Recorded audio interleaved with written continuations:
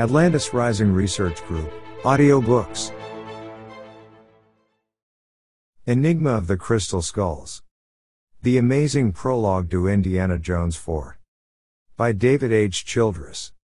With the opening of the movie Indiana Jones and the Kingdom of the Crystal Skull, millions have been learning for the first time about one of the most remarkable stories in the annals of archaeology the mystery of the crystal skulls. The movie may be fiction, but the tale of the crystal skulls is not only filled with plenty of Hollywood style adventure, a lot of it is true. One of the most fascinating substances in nature, crystal lends itself uniquely to various adaptations, including information storage. Today, crystal technologies are at the cutting edge of advancements in nanotechnology and computing. As for the skulls, themselves, does the fact that they are carved from crystal enable them to store information and interact with human thought waves? Strangely, there is evidence to suggest this could be so. Moreover, the history of Mesoamerica, where the skulls are said to originate, is rich with the mystical, magical sorcery of the Olmecs, Zapotecs, Maya, and Aztecs. Indeed, the turbulent times of the Mexican Revolution formed the backdrop for much of the most recent part of the tale, including the saga of F.A. Mitchell Hedges, the notorious adventurer who emerged from the jungles, it was said, with the most famous of the crystal skulls, the so called Skull of Doom. There are genuine enigmas associated with crystal skulls.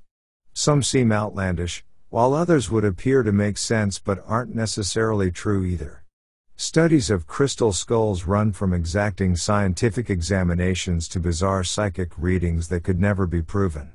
Much of the material on crystal skulls may be fabricated or deceptive, and the age and origins of the objects obscured, but one thing is certain crystal skulls are real.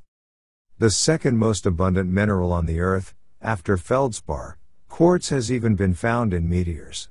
It is a large component of sand and sandstone and is part of almost every rock, be it igneous, metamorphic, or sedimentary. It is the main mineral in most gemstones. Quartz is extremely hard rock, with a Mohs scale of 7.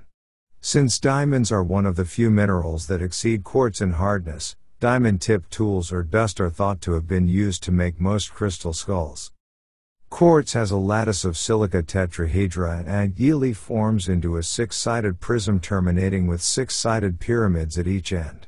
Its crystals can grow together and become intertwined and therefore show only part of this shape, looking like a giant crystal mass, but the underlying crystalline structure, one in which internal patterns of molecules are regular, repeated and geometrically arranged, gives quartz many of its striking properties, and makes it possible for one to believe that crystal skulls may actually be the depositories of ancient wisdom. Eric Smalley, in an article about quantum computers in Technology Research News, online at turnmag.com, reports that a research team from the US and Korea succeeded in storing a light pulse in a crystal, and then reconstituting it. This was significant because quantum information is notoriously fragile, and the ability to store it in a crystal would advance the feasibility of building a quantum computer, which would theoretically work at far faster speeds than are now possible. Although there is much work to be done to develop a quantum memory chip, experiments with crystals seem promising.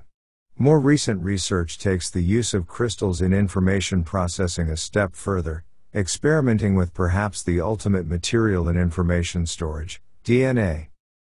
According to Science Daily, crystals promise a new way to process information.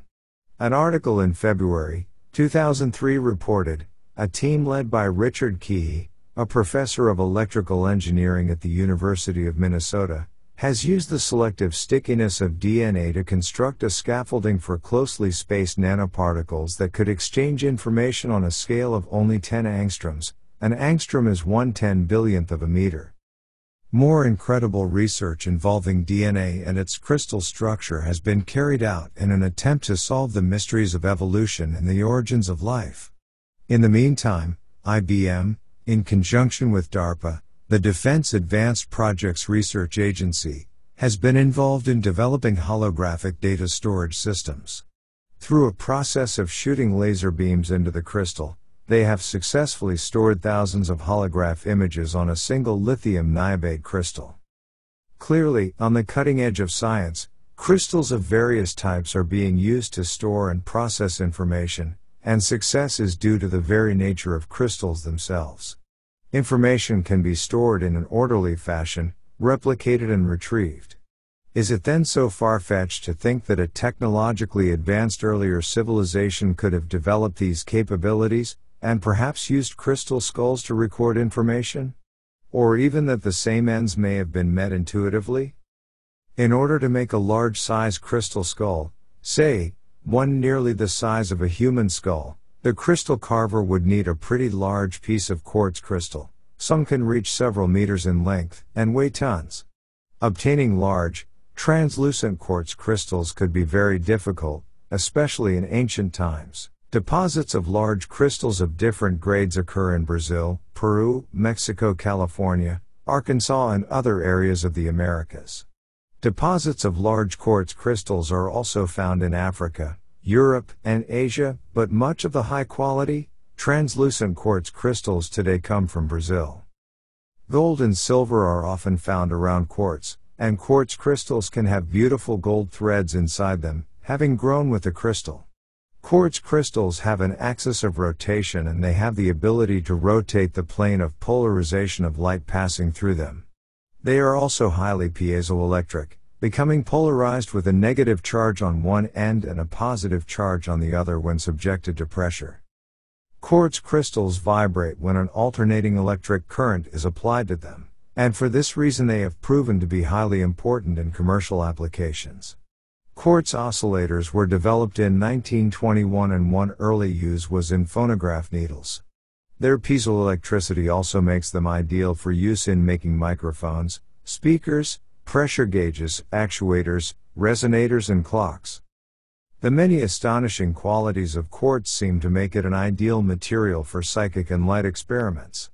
In theory, a piece of crystal quartz, or a crystal skull, could and would react to what was around it, including light, electricity, pressure, sound, vibrations of all sorts, and possibly human thought waves in the human electrical field. Marcel Vogel, an IBM researcher, spent 17 years testing crystals and their interaction with human energy. He perfected the Vogel cut of crystals to maximize their ability to convey psychic and healing influences. His work is perhaps best summarized in this quote from him The crystal is a neutral object whose inner structure exhibits a state of perfection and balance. When it is cut to the proper form and when the human mind enters into relationship with its structural perfection, the crystal emits a vibration which extends and amplifies the power of the user's mind. Like a laser, it radiates energy in a coherent, highly concentrated form, and this energy may be transmitted into objects or people at will. Many unusual phenomena have been associated with crystal skulls. According to Frank Dorland, a San Francisco art expert and restorer who studied the Mitchell Hedges crystal skull for six years. The skull would often be seen with its eyes unusually lit up. The eyes would flicker as if they were watching the observer, and visitors reported odd odors and sounds, plus various lighting effects coming from the skull. Bizarre photographs were taken of pictures which sometimes formed within the skull, including images of flying discs and of what appears to be the Caracol Observatory at the Toltec Mayan site of Chichen Itza. The astonishing ability of crystal skulls to create unusual phenomena is now well known. It is nearly impossible to discuss crystal skulls without looking into the life of F. A. Mike Mitchell Hedges. A fascinating individual, Mitchell Hedges was very much the prototype for the Indiana Jones character. After adventurous younger years with Pancho Villa in Mexico, he returned to his native England and then later appeared in Canada where he adopted a young daughter named Anna. Later he traveled throughout Mexico and Central America investigating Atlantis and other ancient mysteries. In the 1920s and 30s he wrote many books and articles about his adventures and lost ancient cultures. When he was not traveling Mitchell Hedges did a lot of lecturing and radio shows. He was known to be a tall tale teller, as well as something of a braggart. On a number of occasions he was accused of lying. While he did, apparently, fabricate some tales, it should be pointed out that stories like his involving adventures in wild, remote places are inherently hard to document. The fact that he maintained sponsorship by the likes of the Heye Museum, the British Museum, and the Daily Mail indicates they had a considerable amount of trust in him and that he actually performed to their satisfaction. He is known to have contributed artifacts to the British Museum. Some surmise that he may have been a British agent, funded by the government, and, therefore, subject to the Official Secrets Act, which mandated two years hard labor for violators. He may actually have been forced to make up stories and change facts in his books. His books were popular during their time and The White Tiger was republished in a number of mass-run mini hardbacks for the troops and other far-flung readers during World War II. Mitchell Hedges continued to write after the war. Many researchers have wondered why, in all of these books, the crystal skull, the skull of doom, is never mentioned, until Danger, my ally. Is it that the authors were sworn to secrecy over its origin? Did Mike Mitchell Hedges only acquire the skull late in his life, after all of his other adventures, remarkable as they were? Had it some secret occult origin he could not reveal? Strangely, he devotes only three paragraphs to the skull in his book, and even these were removed from the American edition, published later. He says, referring to a trip to South Africa in 1947, we took with us also the sinister skull of doom of which much has been written. How it came into my possession I have reason for not revealing. The skull of doom is made of pure rock crystal and, according to scientists, it must have taken over 150 years, generation after generation working all the days of their lives, patiently rubbing down with sand an immense block of rock crystal until finally the perfect skull emerged. It is at least 3,600 years old and according to legend was used by the high priest of the Maya when performing esoteric rites. It is said that when he willed death with the help of the skull, death invariably followed. It has been described as the embodiment of all evil. I do not wish to try and explain these phenomena. The popular story of the skull's discovery is that it took place in the latter period of excavations at Lubaantun in 1927. Anna was supposedly digging in a collapsed altar and adjoining wall on her 17th birthday when she found the skull. Three months later, a matching jawbone was discovered 25 feet away. And thus, one of the world's strangest ancient objects came to light. But, in fact, not a word was said about it for years afterward. Could its origin be more mysterious than the public was led to believe? Another possibility is that it came from another Central American ancient city, or possibly one in Mexico, and was looted from some pyramid.